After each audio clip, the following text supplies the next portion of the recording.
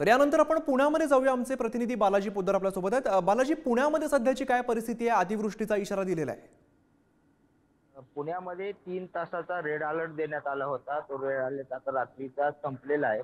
आता सध्या पुण्यात कुठेही पावसाची सुरुवात झालेली नाही.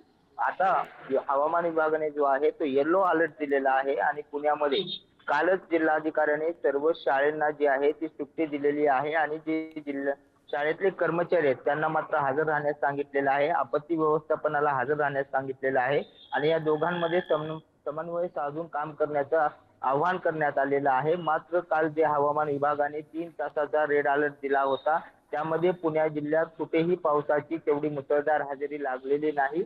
आता सहा तासाच्या अपडेट नंतर पुणे हवामान विभागाने पुन्हा पुण्याला येलो अलर्ट दिलेला आहे. मात्र पावसाची चांगली सुरुवात असल्याचं पाहायला मिळते पुणे शहरात मात्र सध्या पावसाची कुठलीही शक्यता आता पाहायला मिळत नाही. ऊन पडलेलं आहे. मात्र कधीही पावसाची जर तीव्रता जास्त झाली तर सगळी यंत्रणा सज्ज ठेवण्याचे आदेश जे आहेत ते जिल्हाधिकाऱ्यांनी दिलेले आहेत. त्यांच्या दृष्टीने आज सर्व शाळांना पहिली ते बारावी पर्यंतच्या सर्व शाळांना सुट्टी देण्यात आलेली आहे. निश्चित बालाजी धन्यवाद या सगळ्या सविस्तर माहितीसाठी.